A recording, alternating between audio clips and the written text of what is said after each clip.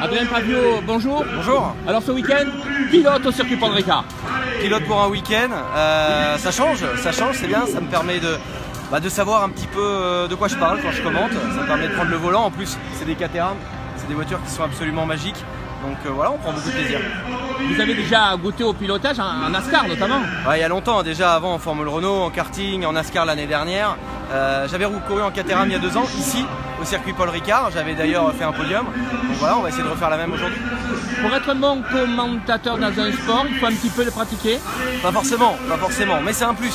C'est un plus quand on travaille sur plusieurs chaînes et qu'on est amené à, commenter seul. C'est vrai que là maintenant j'ai la chance d'avoir des consultants comme Jean-Éric Verne, comme Olivier Panis, ça m'aide beaucoup, mais c'est arrivé aussi de devoir commenter des courses seul. Donc là c'est vrai que c'est un plus pour pouvoir analyser les, phases de course. Alors justement sur TF1, votre parole, vos commentaires sur les Grands Prix de Formule 1 sont extrêmement entendus et attendus.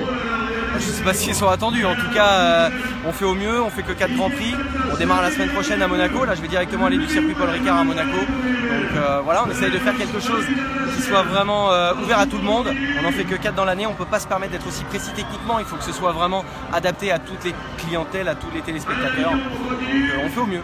Sans dévoiler de secret, comment est-ce que vous allez aborder sur TF1 le, Grand Prix de Monaco? Je peux déjà vous dire qu'il y aura 4 Grands Prix encore cette année. Monaco et Grand Prix de France. Les deux autres, ils vont être dévoilés un petit peu plus tard. Je serai de nouveau avec Jean-Éric Berg. On va avoir Marion Jolès avec nous euh, sur la grille à Monaco. On aura Romain Chemoul également avec nous. Donc ça va être un, super week-end. Qui peut battre Mercedes euh, Mercedes Non, on espère. Monaco, c'est le circuit des miracles. Donc euh, s'il y a un circuit où Mercedes peut être battu, c'est à Monaco. Moi, je mettrais bien une petite pièce sur Charles Leclerc. Et puis c'est aussi le dernier circuit qui avait un Français s'imposer en Formule 1, Olivier Panis. Olivier Panis en 96. Bah, pourquoi pas Pierre Gasly? L'année dernière, on a vu Red Bull qui était impérial à Monaco.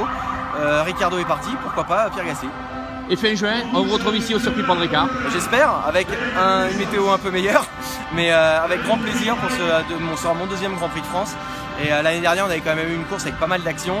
On espère que nos Français vont un peu plus briller. Est-ce que c'est la renaissance du Grand Prix de France F1 qui a décidé TF1 de revenir dans oui. ce sport? Oui, indéniablement. C'est un événement majeur. Il fallait qu'on le partage avec les, avec les téléspectateurs. Voilà.